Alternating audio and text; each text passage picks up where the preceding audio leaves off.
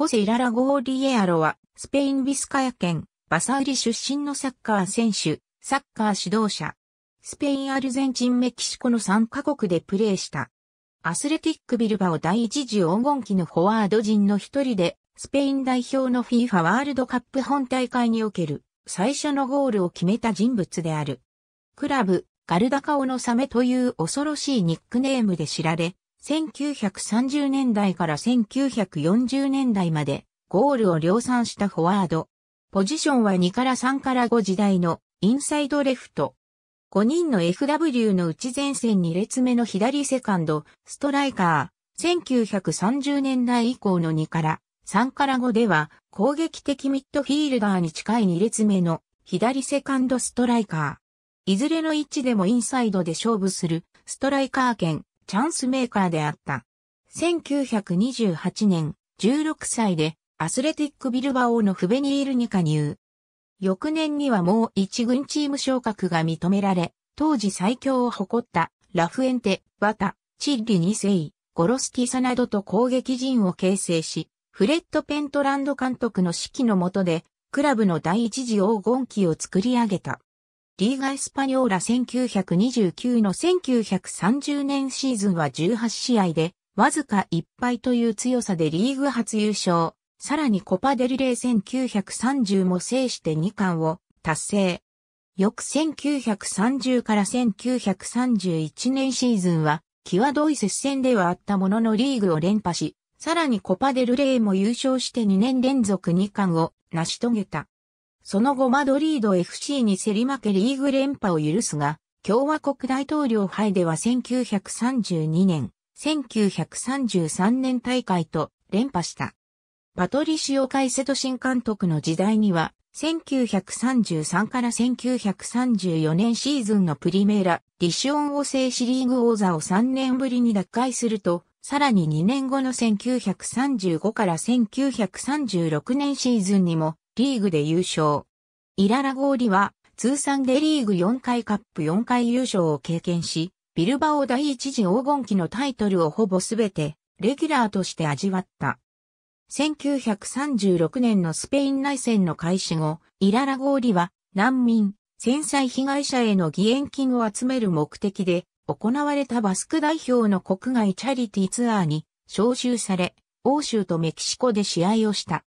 1939年にはビルバオの同僚であるアンヘル・スビエタと二人揃ってアルゼンチンの CEA さん、ロレンソであるマグロへ海外移籍した。だがここでは怪我に苦しみ、わずかな試合にしか出られなかった。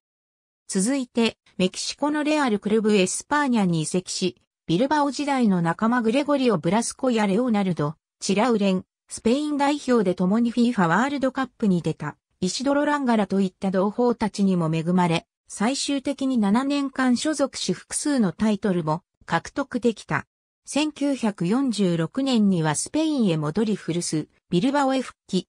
だがチームは低迷し、自身の出場機会も少ないという苦しみの中で、1948から1949年シーズン終了後に現役を引退した。アスレティックビルバオでは通算10シーズン在籍240試合で179得点を挙げた。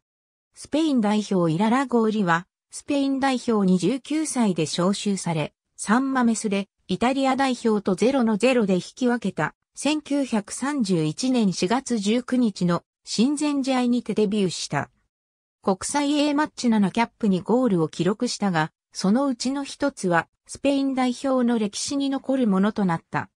スペインが初めて本大会に出場した 1934FIFA ワールドカップ1回戦のブラジル戦で、イララゴーリは前半18分にペナルティキックを決めてチームに先制点をもたらしたが、これはスペインが W 杯本大会で記録した最初のゴールであった。試合は、その後プリメイラディビシオン1933から1934得点王のイシドロ・ランガラが2点を追加し3から0と大きく、スペインがリード。その後ブラジルの反撃をレオーニダスの1点に抑えて勝利した。準々決勝イタリア戦でも先発し、チームは1から1と引き分けた。再試合には起用されず、スペインは0の1で敗れベスト8で姿を消した。イララゴーリは、まだ正式引退する前のビルバオ時代末期、1947から1948シーズン頃にはすでに、セグンダディビシオン所属のバラガルド CF の指導を始めていた。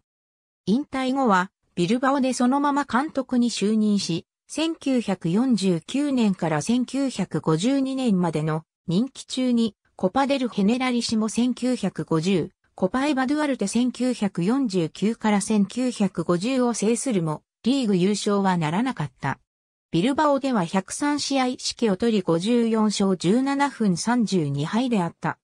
ビルバオ退団後は、レアル・バリャドリード、セルタ・デ・ビーゴを短期間率い、前者ではコパ・フェデラシオン1952から1953にトップチームの陣容で優勝した。